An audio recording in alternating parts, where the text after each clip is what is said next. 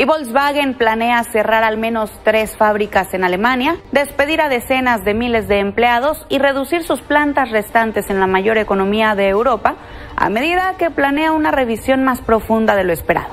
El mayor fabricante de autos de Europa lleva semanas negociando con los sindicatos sus planes para renovar su negocio y así poder reducir costos, incluyendo por primera vez el cierre de plantas en Alemania.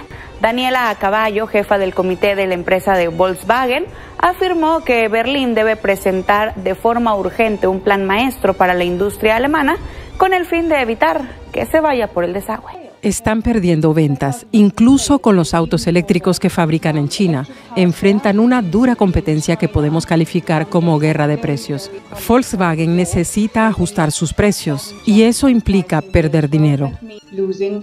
A pesar de la grave situación, los trabajadores creen que la empresa cruzó una línea que podrían motivar que sean ellos quienes terminen pagando por los errores del directorio. ¿Cómo puede impactar la crisis de Volkswagen en las operaciones de Argentina y México, que son las filiales más grandes de la región, sacando a Brasil? Volkswagen está en serios problemas. Se anuncia el cierre de tres importantes fábricas en la misma Alemania y despidos como nunca antes vistos. Todo esto es por la fuerte influencia de coches chinos. Por ejemplo, en el mercado alemán, el Volkswagen ID3 ronda los 35 mil euros, mientras que en China su costo es menos de la mitad. Esto es resultado de una intensa guerra de precios en la que Volkswagen también participa. Los fabricantes adoptaron esta medida desesperada para proteger su participación en un mercado donde la competencia es tan fuerte que las marcas extranjeras están perdiendo terreno rápidamente. ¿Este escenario es el resultado de una estrategia exitosa de China o se debe a errores de planificación de las grandes compañías? Examinaremos estas preguntas y veremos cómo las marcas chinas están cerrando fábricas en todo el planeta. Para entender cómo se llegó a esta situación, es útil volver al pasado. Un caso significativo es el de Volkswagen. Regresemos a 1978, cuando China, recién salida de la revolución cultural, era un país necesitado de vehículos y buscaba apoyo en Alemania. Una delegación china encabezada por el ministro de Industria visitó la planta de Volkswagen en Wolfsburgo. En aquel tiempo, China priorizaba camiones y autobuses,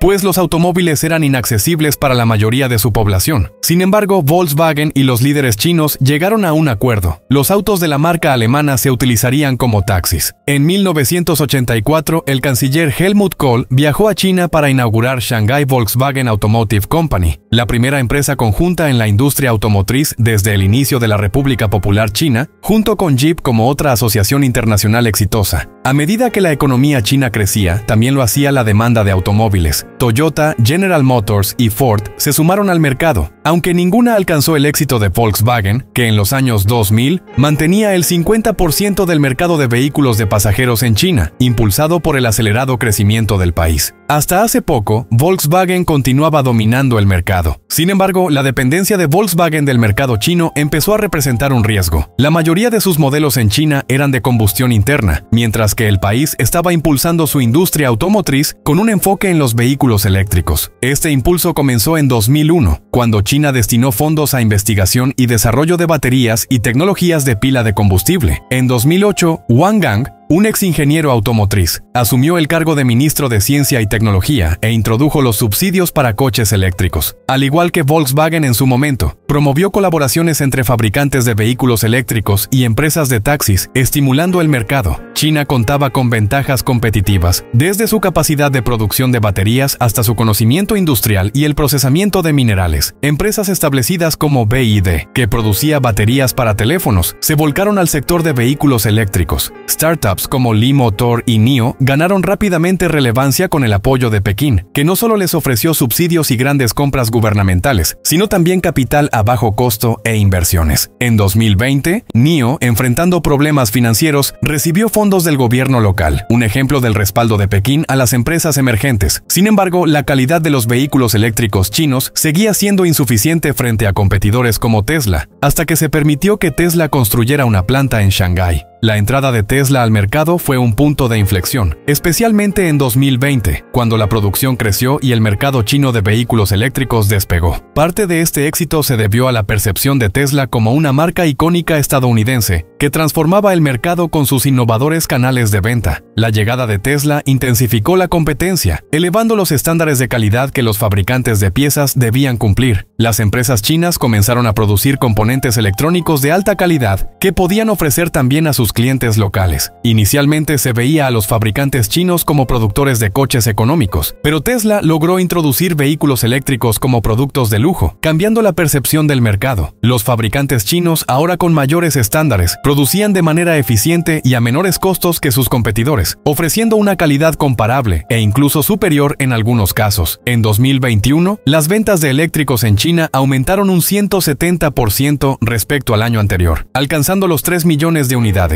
la mitad del total mundial. BID lideró las ventas mientras que Tesla quedó en tercer lugar.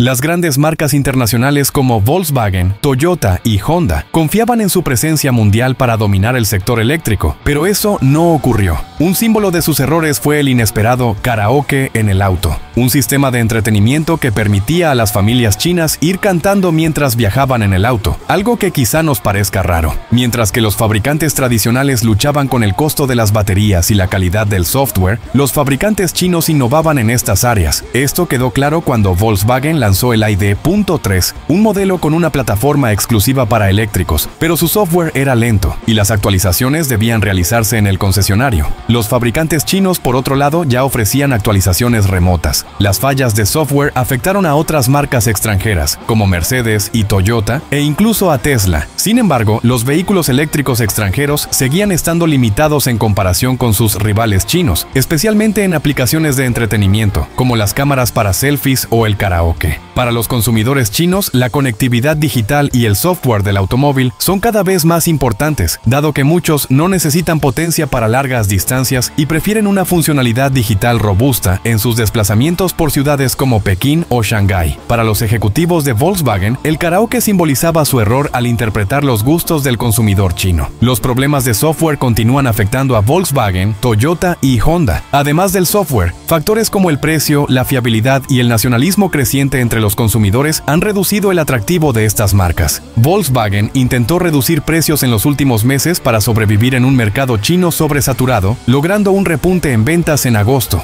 Sin embargo, la tendencia hacia los vehículos eléctricos ha continuado erosionando su cuota de mercado, que pasó del 15% al 11% el año pasado. Los fabricantes japoneses como Toyota y Honda han perdido casi un 6%. Durante la primera mitad del año, BYD superó a Volkswagen como la marca más vendida en China. Podemos decir que el mercado chino ha dado una lección a las grandes marcas. No subestimen los planes industriales de Pekín ni se queden en los laureles. Ejecutivos occidentales subestimaron el avance de las políticas chinas y el éxito de los fabricantes locales los tomó por sorpresa. Ahora, Volkswagen busca corregir el rumbo. En 2023, la marca se unió a empresas mixtas, una con el desarrollador chino de software Thundersoft y otra con el fabricante Xpeng, para desarrollar dos modelos previstos para 2026. Este es un paso que diferencia a Volkswagen de otros fabricantes en dificultades, como los japoneses, particularmente Toyota. No obstante, el tiempo perdido puede ser irrecuperable. El mercado chino, ya sobresaturado, está impulsando a sus fabricantes locales a buscar otros mercados, lo que representa una amenaza para las grandes marcas fuera de China. En el Salón de Múnich de este año, BID anunció cinco nuevos modelos para el mercado europeo, apostando a que los consumidores desean vehículos con mayor conectividad digital. Volkswagen perdiendo terreno en China y con Estados Unidos en desconfianza total, podemos afirmar que la marca alemana está a punto de una grave crisis. Nueve años después del escándalo conocido como Dieselgate, el exdirector ejecutivo de Volkswagen, Martin Winterkorn, enfrenta finalmente un juicio. Este martes compareció ante el Tribunal Regional de Donde el proceso, retrasado anteriormente por motivos de salud, dio inicio. Entre 2007 y 2015, Winterkorn fue uno de los líderes más influyentes de la industria automotriz alemana, pero su situación cambió drásticamente tras descubrirse que Volkswagen había instalado un software ilegal en aproximadamente 11 millones de vehículos. Este programa reducía los niveles de óxidos de nitrógeno durante las pruebas de emisiones. Winterkorn se disculpó públicamente con los clientes afectados, asegurando que la empresa trabajaría para compensar los daños causados. Ahora, el juicio busca esclarecer si él tenía conocimiento sobre el software fraudulento y hasta qué punto estaba involucrado. Las acusaciones que enfrenta incluyen fraude organizado por engañar a los propietarios de los vehículos, falso testimonio al declarar que solo supo de las irregularidades poco antes de su revelación pública y manipulación de mercado por no informar a los inversionistas de los posibles daños económicos a tiempo. Se espera que el juicio dure al menos un año, con la posibilidad de que Winterkorn enfrente una condena de varios años de prisión.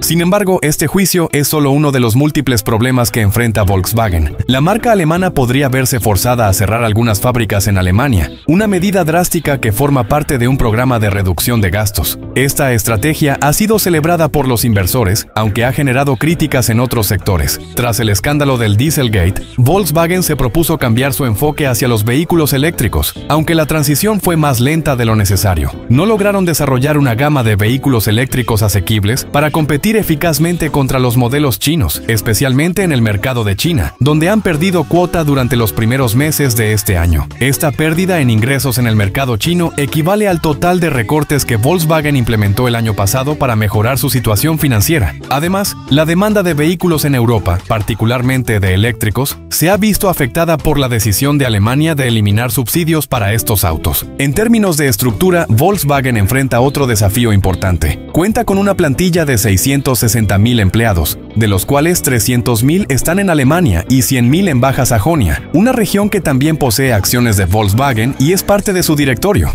Esto hace que cualquier recorte de personal en Alemania sea políticamente delicado. Además, el sindicato ha firmado un acuerdo que garantiza estabilidad laboral hasta 2029 y está solicitando un aumento salarial del 7%, lo cual añade complejidad a la situación financiera. ¿Es el cierre de fábricas la única solución ante esta crisis o existen otros planes? Volkswagen necesita urgentemente reenfocar su estrategia. Inicialmente se concentraron en los vehículos diésel, luego pasaron a los eléctricos, aunque esa estrategia fue pospuesta en favor de los híbridos enchufables. La falta de claridad en la estrategia de producción ha impedido que Volkswagen ofrezca vehículos eléctricos asequibles. Para lograr esto será necesario reducir costos, lo que podría suponer el despido de hasta 20.000 empleados y el cierre de fábricas con menor demanda, como las de Osnabrück o Dresde, debido a una capacidad ociosa que ronda un tercio, algo crítico en la industria automotriz. Volkswagen, una vez un emblema de la industria automotriz alemana y símbolo de ingeniería de primer nivel, atraviesa actualmente una de las crisis más profundas en su historia.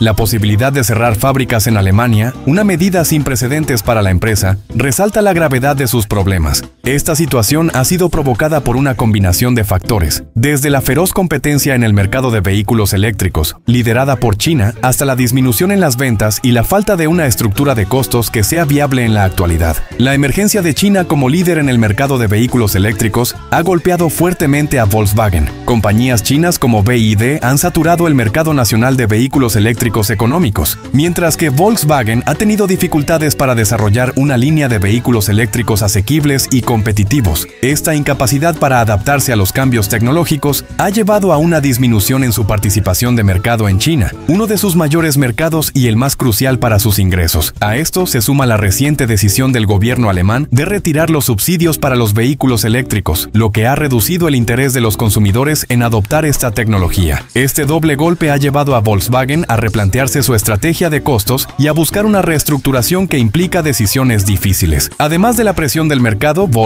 enfrenta una situación compleja en su estructura laboral. La empresa cuenta con una plantilla sobredimensionada y el sindicato tiene una fuerte influencia, particularmente en la región de Baja Sajonia, que es accionista de Volkswagen. Esto ha dificultado cualquier intento de recortar personal o cerrar fábricas, ya que enfrenta una fuerte resistencia política y sindical. A pesar de ello, la presión económica es tan intensa que la empresa considera recortar hasta 20.000 empleos y cerrar algunas plantas, como las de Osnabrück y Dresden, para poder sobrevivir en el mercado. Este escenario ilustra un cambio doloroso y significativo en la industria automotriz mundial. Volkswagen, que alguna vez dominó el mercado, parece hoy un gigante atrapado en su propio legado, enfrentando el reto de adaptar adaptarse a un futuro que ya no domina. La transición a los vehículos eléctricos, en lugar de ser una oportunidad, ha dejado al descubierto las debilidades de la compañía frente a competidores que han avanzado con mayor agilidad y precisión. Así, Volkswagen se convierte en un símbolo de nostalgia, recordando los días en que Alemania era el líder indiscutible de la calidad y potencia automotriz. Hoy, el mundo observa cómo el gigante alemán lucha por mantener su lugar en una era en la que el liderazgo parece haber cambiado de manos, con China